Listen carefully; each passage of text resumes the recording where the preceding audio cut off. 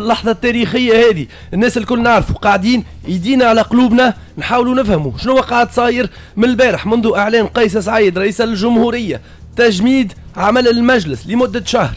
حل الحكومة وإقالة المشيشي وسيشرف مباشرة رئيس الجمهورية على تعيين رئيس حكومة جديد وعلى تعيين كذلك أعضاء الحكومة. بعد اقتراح من رئيس الحكومة الجديد من المرشح أن يكون السيد شرف الدين. تتذكروه الكل وزير الخارج الداخلية السابق واللي تمت اقالته من قبل المشيشي من المعتقد ومن المرتقب ومن المنتظر إنه هو يتولى تشكيل الحكومة الجديدة. نذكر اللي تم تسمية السيد خالد اليحيوي مدير عام الأمن الرئاسي في خطة وزير الداخلية. مواصلين تحليلنا للي قاعد صاير للخطوة خلينا نقولوا الخطوة إيجابية ممكن للاتحاد العام التونسي للشغل.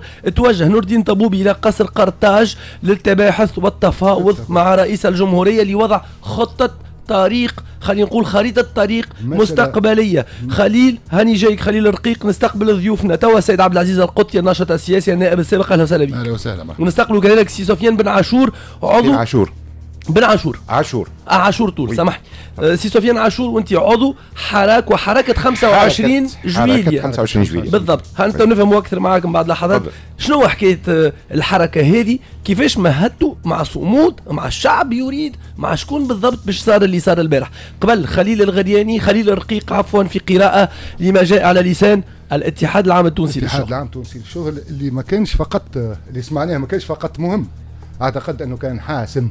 بمعنى أنه راهو تونس الداخل وخارج تونس كان ينتظر هذا الموقف منذ البارحة لتعديل الأمور وفهم ما يجري. يعني عندما نجيو في تونس الاتحاد شغل فيها من الحركة الوطنية التو محدد في الشرايين الحيوية للدولة التونسية ويقول اليوم أنا مع الإجراءات. بمعنى اليوم ميزان الكفة مشى للإجراءات التي أعلنها رئيس الجمهورية. شنو اللي تبقى تو؟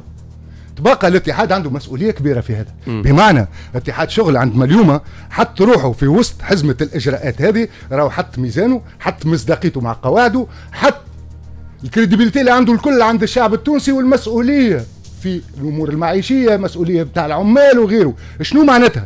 معناها اليوم السي طبوبي بعد رئيس الجمهورية لماذا؟ هذا هو السؤال المحدد. عندما تحدثنا على 30 يوم باش ما يقعش خلط.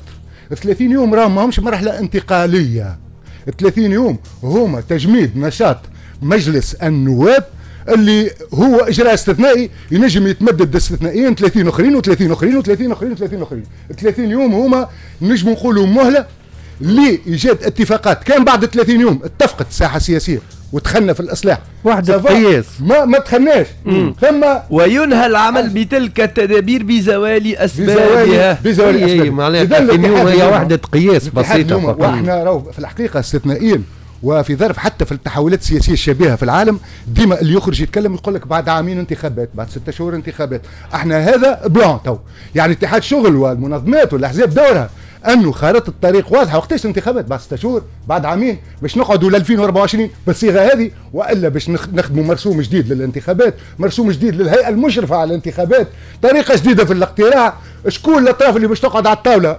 والاتحاد هل باش يعطي رأيه في الحقائب الحكومية اللي رئيس الجمهورية؟ باش يعينها. autrement هذا هو السؤال وهذه مسؤولية اتحاد شغل في تقديري. نشوفوا اللي الاتحاد قاعد زاد يخلط على القطار نوعا ما. أكيد إنه فما موقف مساند ضمنيا لكن بشروط بخطوط حمراء لرئيس الجمهورية ومنها إنه لا يترأس النيابة العمومية.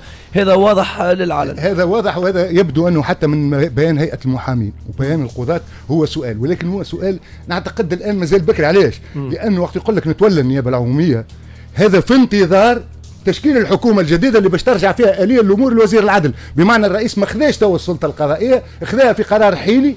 بعد في التفصيل باش ترجع لوزير العدل كما كانت في وقت الترويكا وقبل وقت الترويكا وقبل قبل وقت الترويكا. بمعنى ما نتصورهاش مشكلة كبيرة. أنا أعتقد أنه اللي جاء بالعكس. فرصة للقضاء التونسي اللي بدأ عنده شهرين يتعافى واللي بدأ ياخذ في إجراءات باش ما يدخلش في السياسة أنه اليوم تترفع عليه اليد. الحديدية اللي كانت تعيق الملفات واللي كانت تطمس في الأدلة واللي كانت تضيع في البراهين. ونعرفوا جيدا شنو اللي صار والمآلم تاع القاضي اللي تورط.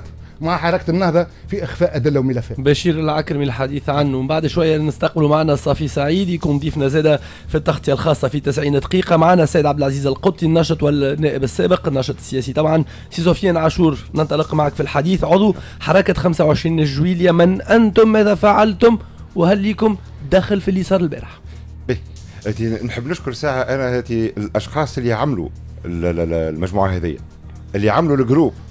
هاتي بتاع هاتي آه، لا للتعويضات النهضويين. non aux indemnisations des نهضويين هاتي على راسهم. يايا اسمها في, في ال groupe. يايا غرس الله. هاتي عملت ال groupe. هاتي كي التوانسه الكل. قلوبنا فايضة. جاتني invitation دخلت. اتي ونخدم اتي في المجموعة. اتي عملت لها اتي دخلت معها en contact كلمتها. قلت لها اتي كيفاش نعملوا كيفاش نقدموا اتي راهو اللي عملته حاجة كبيرة. اتني دخلت معاها في ال groupe اتي في قداش فيه ال groupe هذايا؟ سامحني. توا 700000 في ظرف ممكن أقل من ثلاثة أسابيع. أي. هو هاتي سهلة الحكاية. أنا شخصيا عندي هتي تقريبا 1600 هتي contacts في وسط ال profil نتاعي على الفيسبوك. واحد واحد. فردا فردا. فردا فردا بعثت لهم انت ميساجات باش يدخلوا غاديك. معناتها أنا ناخذ 1000 نبعث لهم الكل. الكل هم يمكن نقول 1000 عندها مليون انت عملية الحشد والتعب هذه واضحة. شنو كان تأثيركم؟ شنو نظمتم وين نزلتم وبأي تنسيقية؟ نزلنا هاتي في تونس الكل. كامل تراب الجمهورية.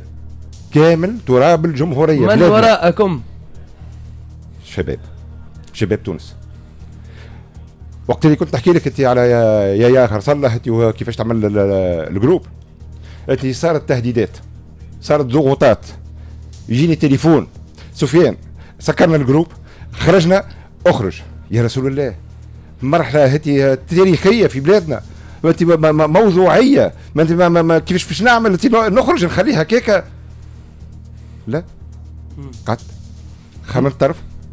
ورجعت لك رجعت ال groupe وعملت نداء لبعض الشباب في وسط المجموعة اللي هما كلموني. ومنها تعمل groupe آخر في هو اللي لاهي بالخدمه هذه كان فما تنسيق مع حركة صمود؟ التنسيق الوحيد هو في وسط المجموعة. جماعتنا الكلها خدمت على روحها. انت جيت قلت لهم راهو فما شكون كلمني. راهو فما شكون اللي بعث لي message. قال لنا راهو homme d'affaires راهو درا شنو تستحقوا أي حاجة راهو موجودين. حتى فلوس كنت تحبوا انت موجودين. قالوا لي كلهم زوج واحد قالوا لي لا. مرة أخرى قلت لهم راهو فما فما هتي آه، آه، شكون يحب يساند. نفس الشيء الكلهم. مش فما واحد قال لي خموا ولا قالوا لي لا. سفيان رانا نخدموا مع بعضنا. والكلهم يخدموا. أتي صباح وليل. البريمة فينا هاتي ياخذ في ثلاثة شوية عنوف في النهار. البريمة فينا. منذ ثلاث أسابيع أنتم تخدموا صباح نعم. وليل. باش تحركوا الشارع. أي. وين هبطتوا؟ كامل تراب الجمهورية. البارح في باردو؟ موجودين. البارح في صفاقس؟ موجودين. في سوسة؟ موجودين. الشعب موجود. الشعب موجود. الشعب. هل دعيتم لي؟ خلينا نقول آه، ما نقولش حرق لكن على الأقل لاقتحام مقرات حركة النهضه لا. إذا كنت ترجع وتشوف في ال groupe نتاعنا سلمية سلمية سلمية ونقولوا فيها ونعاودوا فيها على الأقل ثلاث مرات. سلمية تونس بلادنا تونس نتاعنا. اتهموكم بالإجرام والبلطجة. تحكيولي على الائتلاف الحاكم. شنو جاوبه بلطجة على بلادنا؟ مشينا. قلبنا فايض راهو التحرك اللي صار راهو هدي إيه. التوانسه قلبها فاض مش معبي. فاض فاض وهو نداء لهنا للتوانسة. نقول لهم يا توانسة راهو مازلنا يلزمنا نخدموا على رواحنا يا ما سامحني comment être convaincant نتاع أنه آه اللي خرجوا راهم سمعونا. آه آه واللي حرقوا آه ما همش نتاعنا أما ال paquet اما تتحملوه ولا ما تتحملوهش؟ هو من ناحية تتحملوه ولا ما تتحملوهش؟ إحنا مرة أخرى وحتى البارح وأنا بيدي شخصيا. اللي يعمل في أي ربع حاجة. يقولوا لا. لا أسمع صوتي صوتي هذا راهو مبحاح. على خاطر نسيح ونعيط لا راهو سلمي. سفيان عاشور عن حركة 25 جويليا اليوم مساندين لقرارات رئيس الجمهورية في انسجام معه؟ أي. أي. انت نحن عندنا تصحيح للمسار الديمقراطي نتاعنا تصحيح للمسار الديمقراطي.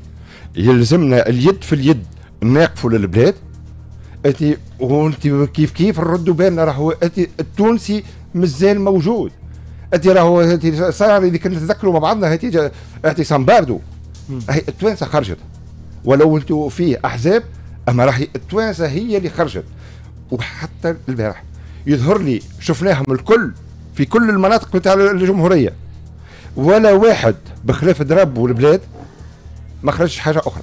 من ركائز آه، قوى التحركية البارح ممكن أنها كانت مستقلة عن الأحزاب. وهذا اللي زاد أعطاها ممكن نفس وطني نفس ديمقراطي وخلينا نقولوا بعد شعبي. عميق.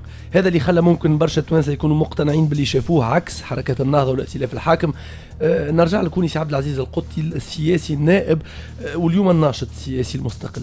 كيفاش اولا قريت قرارات رئيس الجمهورية في انقلاب يقولوا دستوري نعم فما يقول لك لا انقلب السحر على الساحر. وهل تعتبر نفسك من المنظومة اللي يحب يلفظها اليوم الشعب؟ شكرا. آه، اولا بالفعل وأنا أعتبر نفسي أنه من المنظومة كنت جزء من منظومة لفظها الشعب وال وال و آه، آه، أنه الشعب حسم في هذه المنظومة. المؤشرات راهي كانت موجودة من من الموندا اللي فاتت من موندا 2014 2019 كانت موجودة كذلك في الفترة التأسيسية نتاع المجلس التأسيسي واللي أنا كنت فيه واللي أنقذ العملية لربما أنقذها بين ظفرين.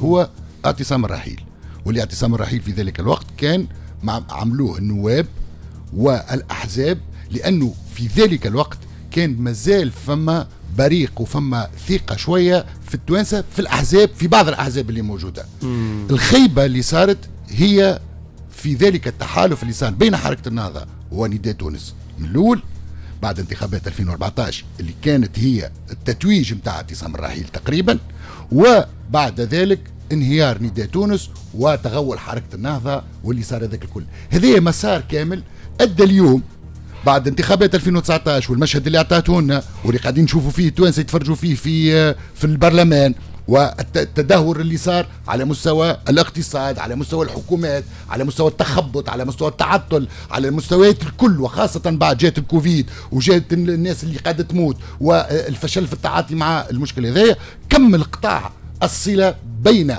الشعب التونسي وهذه المنظومة اللي لخيان بطبيعة الحال اليوم مواطنين عاديين اللي صار هو حراك تلقائي مواطني شعبي معزول وغير مرتبط لا بمنظمات ولا بأحزاب. والناس اللي خرجت خرجت من الجروبات نتاع آه، حركة 25 آه، جويليا وفما ناس خرجت من جروبات أخرين وفما ناس خرجت خاطرهم جيران وفما ناس خرجوا على خاطرهم شباب. ما عادش عنده أمل في البلاد والآخرين خرجوا لأنه طبقة وسطى تفكرت وتهمشت ودقدقت وشافوا أنه المستقبل ما عادش فما. هذوم الكلهم هما اللي خرجوا راه فما ناس لربما من الشباب اللي كانت عندهم شوية نزعة هكا ثورية وكانوا يطمحوا. لا كانت عندهم عندهم آه، غضب. كبير خلاهم يتوجهوا لمقرات حركة النهضة. وأنا ما نقولش أنه التوجه للمقرات ولا حرق المقرات ما. je discute pas l'acte أنا je discute الرمزية. أنه اليوم الحراك اللي صار والمواطنين هذوما قالوا هو العدو نتاعنا العدو نتاعنا واضح هي حركة النهضة. واللي هي تمثل بطبيعة الحال المنظومة باعتبار أنه هي موجودة في الصدارة. وهذاك علاش؟ ما شفناش مقر واحد. تمس شفنا العديد من المقرات. donc ال message واضح. بريق هذوما ناس مواطنين هبطوا بعد تخرج حركة النهضة ويخرجوا قياداتها معناها باش يشوهوا الناس هذيا هذايا هو العيب الكبير. ولو إحنا حتى أنا كنت في المنظومة اللي لربما ساهمت في خراب البلاد هذيا أما لكن على الأقل إجا نعترفوا إجا نصحوا إجا نقولوا رانا غلطنا إجا نقولوا راهو اللي صار اليوم حقه صار قبل. وبالفعل اللي عملوا قيس سعيد حقه عملوا الباجي قايد السبسي من الباجي قايد السبسي ما عملوش. لماذا؟ لي عدة اي هو باغي هو هو باهي هذيا l'autocritique النقد الذاتي آه، لكن باعتبارك أنت تعترف أنه كنت من المنظومة القديمة والمنظومة ذي القديمة الشعب فد منها والفظها اي ما انت تعمل اليوم؟ ما نعمل في حاجة. آه، شنو تموقعك في المشهد السياسي؟ ما عندي حتى تموقع ولا ولا, ولا طموحاتك. ما عندي حتى طموح. طموحاتك طموحي هو انه البلاد هذه كما لو خيال لأني أنا اولا وقبل كل شيء مواطن تونسي انه نشوف ولا ربما أنا اطلعت على حاجات التوانسة العاديين ما يعرفوهاش أنا ماذا بيا كما كان أول كلمة قالها هو يوقع تصحيح مسار حتى ولو المسار هذايا صاروا فيه. ديدير ما يا عبد العزيز تجسم أنك في المستقبل ماناش باش نشوف نشوفوك في قيادات لا لا لا لا. أحزاب سياسيه هذا قلت وكتبت عشرات معناها هذا- المرات هذا توا هذا أنا نهائي. أنا مواطن عادي عندي فكرة عندي رأي عندي تجربة. قاعد اليوم من خلال التجربة هذيك نقيم ونساند في من أراه صالحا للبلاد هذه فقط. وهو كذلك من داخل المنظومة القديمة يصارح وكذلك يقوم بالنقد الذاتي نتاعو سي عبد العزيز القطي ضيفنا سي سفيان عاشور عن حركة 25 جويلية. سفيان بن حميدة هوني نقدم لكم آخر الإصدارات لرئاسة الجمهورية. إذا أصدر الرئيس قيس سعيد أمرا رئاسيا قرر من خلاله إعفاء السيد هشام المشيشي رئيس الحكومة والمكلف بإدارة شؤون وزارة الداخلية. السيد إبراهيم البرتاجي وزير الدفاع الوطني وهوني يا سفيان استقريتها بالغلط الحقيقة. السيدة حسنة بن سليمان الوزيرة لدى رئيس الحكومة المكلفة بالوظيفة العمومية ووزيرة العدل بالنيابة خاصة وذلك ابتداء من يوم الأحد 25 جويلية 1000 2021 كما تقرر بمقتضى الأمر أن يتولى الكتاب العامون أو المكلفون بالشؤون الإدارية والمالية برئاسة الحكومة والوزارات المذكورة تصريف أمورها الإدارية والمالية إلى حين تسميه رئيس حكومة جديد وأعضاء جدد فيها. اذا هوني الأمر أصبح واضحا. إقالة الوزراء ومن خلاله تعيين و بالنيابه طبعا تعيين الكتاب العامين أو لي دافور كما نقولوا المكلفين بالشأن الإداري والمالي في الوزارات آه، عوضا للوزراء هذوما المقالين. هكا واضحة الأمور. بداوا الاجراءات يهبطوا قلنا الأوامر ستتهاطل في الساعات القليلة القادمة وفي الأيام القادمة. إعفاء كل من وزير الدفاع. مفاجأة. هي مفاجأة هي المفاجأة لأنه أمس آه، كان من بين الموسمين. امم فهمت؟ أي. لكن أقالوا. لماذا؟ لأنه لن لم يأتمر. لماذا؟ لا لا. آه، آه، أكيد. لا لا أكيد أنه الإقالة هي تفتح الباب للرئيس قيس سعيد للتحكم أكثر في وزارة ال- الدفاع. الدفاع. معناها آه، آه، وزير الدفاع السابق كان آه، صد ان اوبستاكل معناها هو عبر هو في الحقيقة عبر في بعض الحالات على عدم رغبته في إدخال ال- المؤسسة العسكرية في التجاذبات السياسية. إن ممكن هذا السبب يا 100% ال- معايا يا اليوم ماكش رجل المرحله وهذا هو قيس سعيد هذا هو مم. قيس سعيد. ال- آه، يكحل يسود ما فماش رمادي آه، لأنه المرحلة تقتضي ذلك آه، ممكن. م- لا لأنه ل- لأنه ما يمشيش لا يتصرف بمنطق السياسة. هو يتصرف بمنطق خاص آه، ممكن زاد بثنائية الشر والخير. يا إما طيب يا إما شرير يا إما نافع يا إما ضار هو- هو- يا إما دواء يا إما داء. وهذا ممكن اللي طالبينه التوانسه اليوم إنه نعد نحطوا حد وسد منيع أنه- أمام الداء. أنه التوانسه تطلب شيء الشارع أو الشعب يطلب شيء. هذا معقول. لكن القيادة السياسية راهو عندها أن تبلو قدامها. فيه معطيات معطيات عديدة جدا. مصالح ومركبة جدا. ومتشابكة ال- يلزم الكل تأخذها بعين الاعتبار لإيجاد توازن. آه وذاك علاش؟ لا في تونس لا في غير تونس. ما شفناش حد سياسي ما يعملش توازنات ما ي... قيس سعيد يبدو أنه مازال فك النقاوه السياسيه اللي تخليه رافض لأي آه آه موازنة في الموقف. إقالة المشيشي طبعا منتظرة وتم الإعلان عليها وإقالة كذلك وزيرة العدل بالنيابة كان منتظر خلينا نقول وتوا نحكيو على إقالة وزير الدفاع لعينه رئيس الجمهورية سي عبد العزيز القطي وأنت تعرف هالأمور هذه خلينا نقولها داخلية ترتيبية كيفاش تقرأ هو, هو الأمر إيش فيه؟ فيه إقالة لرئيس الحكومة لوزير الداخلية باعتبار أنه رئيس الحكومة هو وزير الداخلية بالنيابة في إقالة لوزيرة العدل وفي إقالة لوزير الدفاع يعني رئيس الحكومة وثلاثة وزراء تاع السياده بالضبط وزارة السيادة الكل وزارات السيادة الكل واللي هما المفاتيح نتاع الإجراءات الاستثنائية اللي أعلن عليها رئيس الجمهورية البارحة. بالنسبة لوزارة الدفاع باعتبار أنه الجيش اليوم عنده دور باش يقوم به. وأنا لا أعتبر بأنه ما كانش من الموالين وإلا كان معناها آه، حاجة تعثر قدام. لا أنا أعتبر بأنه تم توسيمه البارح وقال له بارك الله فيك قمت بدورك في مرحلة معينة. اليوم تونس دخلت في مرحلة استثنائية تتطلب لربما شخصية أخرى وأنت كنت موجود في حكومة. أنا أعلنت على أنه سأعفي هذه الحكومة بمن فيها. وتم اعفاؤه مش تكون فما شخصية أخرى في علاقة بالسيدة آه، وزيرة العدل بطبيعة الحال لأنه اليوم هو أصبح سيد رئيس الجمهورية استثنائيا ولمدة معينة لحين تشكيل الحكومة الجديدة هو رئيس النيابة العمومية ووزير الداخلية من البارح السيد خالد اليحيوي تقلد طبعا ما- مقاليد وزارة الداخلية. وعليه أنا أعتبر بأن هذه الإقالة وإقالة وزير الدفاع هو نهاية مرحلة برجالها والدخول في مرحلة جديدة اللي تتطلب أسماء أخرى ورجال أخرين. هل سيترأس رئيس الجمهورية النيابة العمومية؟ وهوني برشا يتسائلوا قد يكون هذا الإجراء الخط الأحمر الذي لا يمكن أن نتجاوزه؟ وقت اللي نحكيو على الديمقراطية وقت اللي نحكيو على بين ظفرين. لكن في إصلاح المسار. يصعب تلافيه به أنتم في حركة 25 جويلية شنو تقولوا سي سفيان عاشور؟ نقولوا البارح شفناه تي التوانسه النساء زغرتت. هتي الفرحة في العينين العباد عندنا قداش ما شفناهاش الفرحة. رانا هتي كنا ميتين بالحياة. رانا ميتين بالحياة كنا شفنا فرحة؟ نساندوا نساندوا وأحنا موجودين.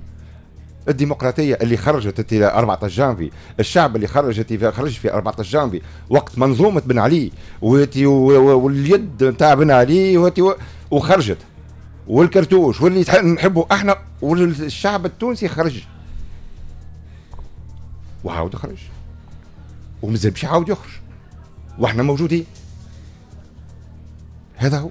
إذا مع أنه مع. اليوم رئيس الجمهورية أيوة. يحتكر هالسلطات هذه الكل.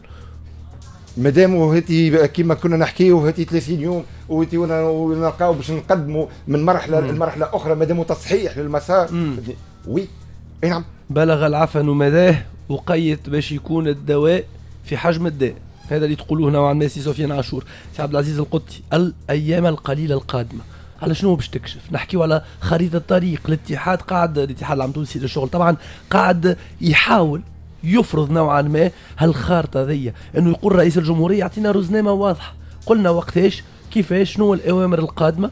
واعطيني تاريخ. وقتاش باش تشوف المدة الاستثنائية؟ وقتاش باش نمروا ونلجؤوا للانتخابات السابقة لأوانها؟ طب هو بطبيعة الحال راهو اليوم رئيس الجمهورية مش معناها عنده آه، آه، carte blanche معناها باش يعمل اللي يحب.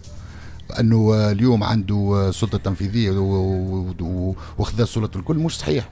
هو معناها de fait لأنه ال période هذه transitoire نتاع أنه ما فماش حكومة لو فات نهار تمشي حكومة من الوزير العدل مش يتولي وكذا رئيس الحكومة مش يتولي عنده صلاحيات وترجع الأمور إلى نصابها. أما لكن وإحنا في وضع استثنائي وأمام تحمل المسؤولية من قبل رئيس الجمهورية يبقى هو اللي مش يتحكم في الأمور هذه الكل إلى حين إيصال الأمانة إلى أهلها وتوصيل البلاد إلى بر الأمان. وهنا يجي دور الأحزاب وهنا يجي دور المنظمات اللي بالفعل قلب على البلاد واللي قلب على تونس والدليل على ذلك اليوم الاتحاد العام التونسي للشغل كان واضحا ما قام بمساندة ال- الاحتجاجات آه، زكى ما قام به السيد رئيس الجمهورية لكن قال له راهو بالنسبة لنا ننتظروا انه تكون فما خريطة الطريق انه كذا وأنا نقول انه رئيس الجمهورية قد أعلن على ذلك؟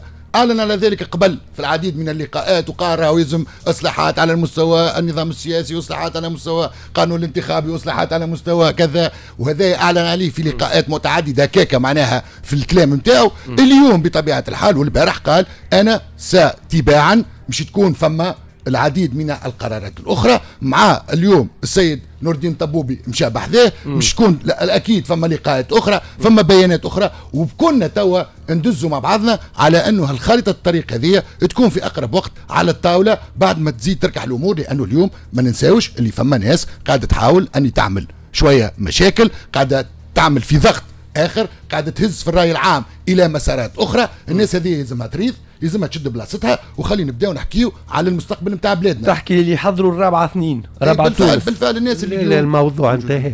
نعم. الموضوع ذي رابعة آه، إمكانية ما فما شيء ما ينجم يعمل شيء. لا موضوع انتهى أي. لأنه اولا النهضة ما نجحتش في تعبئة آه أنصار بحجم كبير اللي نجم تولي تخلق ديناميك كما رابعه ثانيا أنه آه راشد الغنوشي آه فهم ذاك وهو آه، بانسحابه قضاء على أي إمكانية لمزيد توسع ال- التحرك. بتاع أنصار النهضة.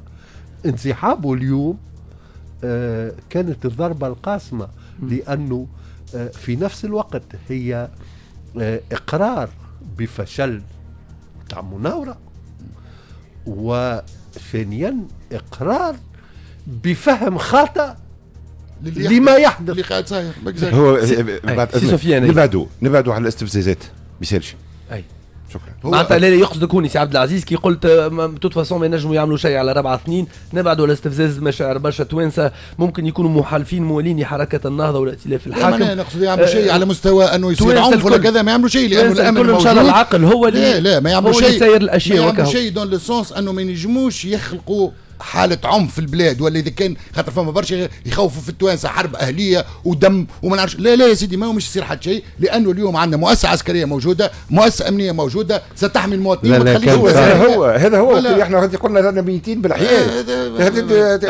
خلانا فقط هوني امور مفصليه خلينا نطرقوا لها كمان نحكيو على الجيش اللي قلنا راهو منضبط تماما لقرارات الرئيس الامن ممكن تفاجئنا شوية الامن وكانه وكانه انضبط كيف كيف هو بيدو تماما لقرارات رئيس الجمهورية سي عبد العزيز. فما- منضبط فما, 100%. فما عقيدة أمنية. راهو سايبنا من الواحد.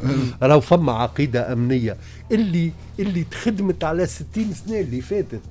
ال- آه، العشر سنين اللي الأخرى صاروا برشا فهمنا؟ فما كل مجموعة نسميهم بوليسية علي العراير اللي دخلوا في فترة علي العراير هذوكم هذوكم باش يبقاو قاسيوهم. العشرين سنة القدام. آه، آه، لكن عدد قليل في الحقيقة. مش مش آه، العقيدة الأمنية هي ستي أنت- انتاكت أنت اليوم فما في ذ- ال- تآكل الدولة بيان سور فما شوية لعب سياسي منا ومن غاديكا لكن في العمق في العمق آه، المؤسسة الأمنية ال- ما يتخافش عليها. باهي سي عبد العزيز. المؤسسة الأمنية كما قال سفيان إحنا اليوم أمام مؤسسة أمنية أمن جمهوري. وهذاك هو الأصل. وهذاك هو ال- الأساس والعمود الفقري نتاع المؤسسة الأمنية. البقية راهو هذيك حويجات مركبة لخدمة مصالح وناس معينة واللي نقولوا له إحنا كنا نقولوا له من 2011 اللي هو الأمن الموازي اللي هما أربع كعبات سواء جماعة علي العريض ولا بعض المديرين اللي يتحطوا لغايات معينه ويعملوا شوية كلوارات كما الكلوارات اللي موجودة في القضاء لأنه المؤسسة القضائية كذلك واللي هي سا تتعافى قريبا وقريبا جدا وبدات ديجا عملية استقلاليتها والتخلص من الشوائب اللي موجودة فيها بدأت منذ مدة ومنذ أسابيع ولكن الآن مش نشوفوا جيش وطني أمن جمهوري وقضاء مستقل يشتغل. تم تعيين السيد خالد اليحيوي مدير عام الأمن الرئاسي في خطة وزير الداخلية. ومن المنتظر أنه يتم تعيين السيد توفيق شرف الدين. تذكروه وزير الداخلية السابق اللي اقالوا السيد هشام المشيشي. باش يتم تعيينه رئيس حكومة وسيكلف بتشكيل الحكومة الجديدة بعد ما يقترح على رئيس الجمهورية وهو اللي يوافق ويعين. سي آه، عبد العزيز القطي تعرف سي خالد اليحيوي؟ هو يقولوا من لي كادر الكبار في الأمن الرئاسي من سنين. لا هو موالي لهذا لا لذاك. لا هو مع الرئيس الفلاني لا الفلاني. لا الفلتاني خلينا نقول. آه التعيين هذايا. هل هو تعيين رجالات اليوم نحكيو على قيس سعيد ولا نحكيو على تعيين محايد موضوعي لرجل أمن فذ وأثبت كفاءته واستقلاليته. اولا سي خالد هو ابن مؤسسة الأمن الرئاسي. يعني مش جايبه من بلاصة أخرى مركب على الأمن الرئاسي خاطره نتاعو ولا خاطره قريب له ولا خاطره كذا. هذايا باش نبداو واضحين هو ابن المؤسسة موجود فيها. كان اشتغل وقت وقت سي منصف المرزوق استغل وقت الباجي قايد السبسي موجود اختاروا السيد رئيس الجمهورية ليكون مديرا للأمن الرئاسي. بطبيعة الحال رئيس الجمهورية اليوم يا حبيبي ياخذ في إجراءات استثنائية وحل chantier كما هذايا ويقوم بعملية إنقاذ وطني لبلاد. ما هوش زاد مش يلعب يجيب آه، اللي يجي ولا مش يسمي اللي يجي. مش يسمي الناس اللي عنده فيهم الثقة خبر الرجل خدم معه الرجل يعرف الكفاءة نتاع الرجل هذايا يعرف وفاء الرجل وحبه للبلاد لأنه اليوم حاجتنا بناس وطنيين يحبوا تونس مش يحب قيس سعيد واعطاه المهمة هذه. هل تتوقع أن الأحزاب الكبرى باش تلتحق بالركب باش تلتحق بالرئيس في تشكيل حكومة مصغرة؟ أنا حسب رأيي هذا تشكيل حكومة مصغرة راهو مطلب العديد من الأحزاب. عندك تشكيل حكومة مصغرة. رحيل الحكومة هذه مطلب أغلب الأحزاب. تشكيل حكومة مصغرة مطلب أغلب الأحزاب. إصلاحات دستورية على مستوى نظام الحكم مطلب كل الأحزاب. والقانون الانتخابي. قانون انتخابي مطلب كل الأحزاب. وتنظيم انتخابات مبكرة. ليزي مطلب كل الأحزاب. قانون الأحزاب مطلب كل الأحزاب. قانون الجمعيات مطلب كل الأحزاب. هذا كله راهو موجود. تكتبه في بياناتهم واضح تصير انتخابات مبكرة مطلب كل الأحزاب. توا نقعدوا خويا ونعطينا سيد الرئيس كيفاش باش نعملوا وكيفاش باش يتم العملية وال وال, وال معناها الطريقة ال mécanique. ال mécanique كيفاش باش يتم. لا أكثر ولا أقل. mais سيد رئيس الجمهورية كان تجي تشوف هو لبى رغبة الأحزاب ولبى الرغبة الشعبية اللي شفناها البارح. الأحزاب قد تلتحق ترى أنه عبير موسي اليوم مطروح عليها وإلا لا. التيار الشعبي نفس الشيء التيار الديمقراطي. الحركة الشعب. أنا شو أنا- باش يعمل؟ أنا أعتبر بأنه اليوم فرصة أعطاها رئيس الجمهورية للأحزاب هذه لتنقذ نفسها. كما مش تنقذ البلاد هو أعطاهم فرصة قال لهم أنقذوا أنفسكم. يا أما اليوم مش تجي في صف الشعب وفي صف ما يريده الشعب وفي صف مطالب الشعب هذايا لإنقاذ البلاد هذه. من منظومة حتى كان كنت فيها خويا على الأقل تخلص من ذلك. ويجي يقول راني أنا مع هذه الإصلاحات مع هذا التوجه ولكن رانا سيد الرئيس مش نقعدوا عين رقيب عليك لأنه إحنا كذلك خايفين من المشكل هذا والمشكل هذا وهذا أنا أعتبره حاجة عادية جدا. ولذا اقتناص الفرصة من قبل الأحزاب السياسية الآن لأنه فماش ديمقراطية من غير أحزاب سياسية. ومتأكد بانه زاد العملية اللي قام بها رئيس الجمهورية ستعطي المجال لخلق كيانات سياسية جديدة وهذا هو المطلوب. وهنا مش يخرج الجيل السياسي الجديد الذي ننتظره جميعا واللي ي- يكون بديل لكل ما هي منظومة قديمة خاصة اللي ما رجعتش أنفسها. هل الشعب يريد الاحتجاج من جديد؟ سي سفيان عاشور عن حركة 25 جويلية باش توصلوا حراككم باش تتمسكوا بالشارع وإلى متى؟ نداء اتي للتوانسه الكلهم يخرجوا من توا. نداء للتوانسه الكلهم يخرجوا من توا. جالك بافاتك ضربوا بلادك التباعد ونشدوا بصحيح. يوميا. كان لازم نباتوا في الشارع نباتوا في الشارع. نردوا بالنا نبعدوا على بعضنا. هذه جائحة كورونا. الله غالب عملنا ولا في الوقت هذا عندنا صفر حالة. تو انت عندنا جبت على صفر حكاية حالة. واحدة. إن dans une dizaine de jours أي. لو أنه عدد الإصابات بالكورونا يعاود يعمل pic وأنا هذا ما أتوقعه. حتى نزل. بالشيء حتى نزل. إيه، تحسوا روحكم مسؤولين شوية ولا برشا على حكاية ولا؟ مسؤولين.